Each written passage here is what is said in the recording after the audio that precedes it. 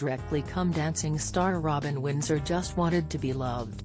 The professional dancer was found dead just days after returning from working on a luxurious cruise in South Africa, according to reports. Robin's death has yet to be confirmed, but his former Strictly co-star Vincent Simone, who has known Robin since he was 17, has spoken out on the dancer's hidden heartbreak. Vincent revealed that Robin, who had spoken openly about his battle with depression, was a hopeless romantic. He said, Robin was always falling in love. It was a big thing for him. The poor man just wanted to be loved. He had loads of love from the rest of us, almost too much.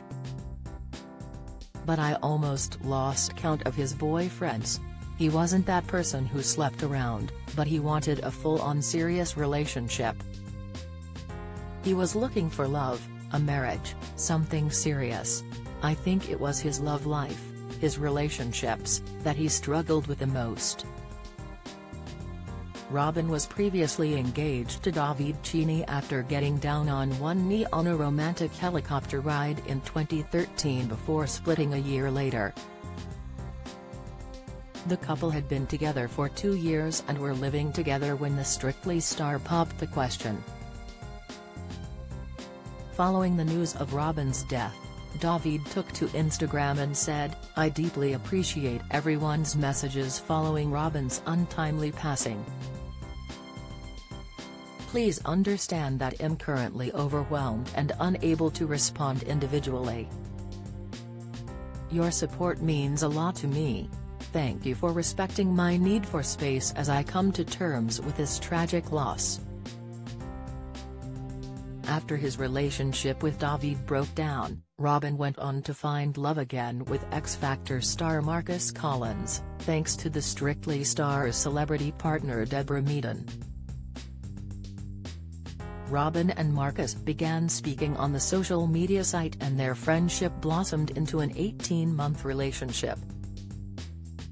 Taking to Instagram, Marcus shared a picture of himself with Robin with the caption, The world just got a lot less sparkly. Robin you were so loved. In 2014, the X Factor star spotted a photo of Robin on the cover of Gay Times and decided to tweet him. Speaking about their relationship at the time, Robin explained, Marcus tweeted me to say you are looking really good, well done. We'd first met at ITV Studios a few years ago, when I passed Marcus in the corridor and asked for a photo because he was very handsome. From then on there was no contact whatsoever till I appeared on the GT cover. After my last relationship ended I was on the rebound and on the warpath thinking, I must find a boyfriend. Deborah Meaden told me to get myself together, concentrate on work, forget about men, and enjoy life. As soon as I did that, Marcus came along, the couple confirmed they were in a relationship in February 2014 and split in February 2015, but later reunited later that year before subsequently separating again. If you're struggling and need to talk, the Samaritans operate a free helpline open 24-7 on 116 123.